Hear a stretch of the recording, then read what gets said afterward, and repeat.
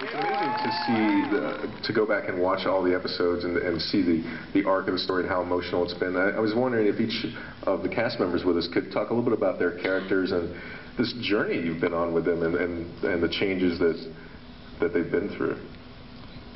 You know, Starbuck has been through a lot. and it, you know, they all have. Um, but I think what's very interesting about her is that she came back at the very beginning of this season, um, having lost everything.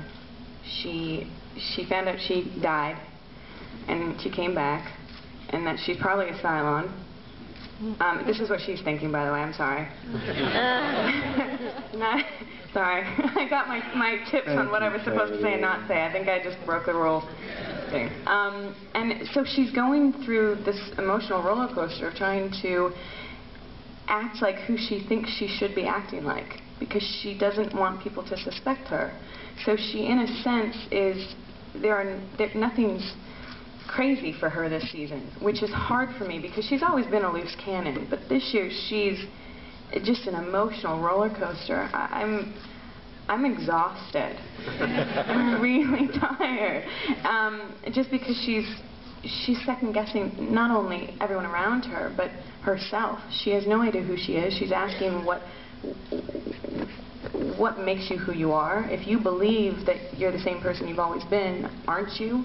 And how do you convince people of that? And she's asking all those beautiful questions that Ron wants the audience to ask about human nature and what makes us um, I don't know, I just spoke for you, but um, makes what makes you human, what makes you, you know, a person, one of us. I don't know.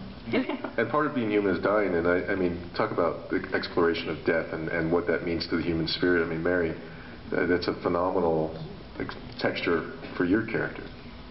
Truly is. Um, I, I, I feel that there was an opportunity, and still is, we're still doing it, but there was an opportunity in this role to um, go inside the depth of one's uh, subconscious and one's soul and wrestle with the demons. It's very rare to find a role where spirituality and, and, and religion is that much of it.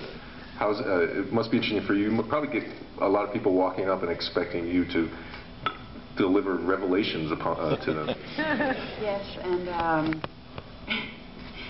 I say words that are written for me. so, um, usually. Yeah, usually.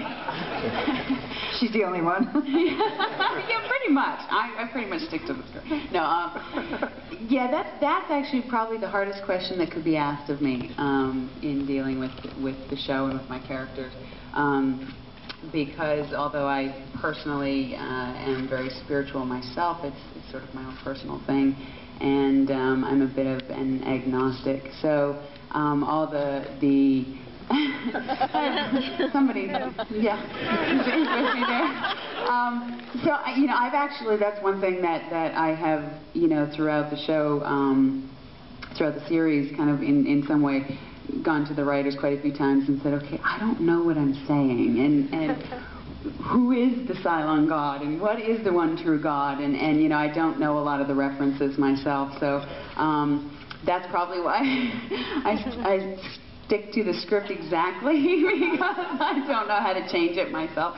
No. Um, uh, no, I think it's I think it's amazing, and, and it's certainly been a challenge for me in that respect, and something that has um, on a personal level made me open up my my views and horizons a little bit and say, okay, you've been closed-minded to everything before throughout your life, and maybe maybe you need to to open it a little bit and explore, and and that's something I, I plan on, you know, working on and, and doing. So maybe number six is helping me, Ron.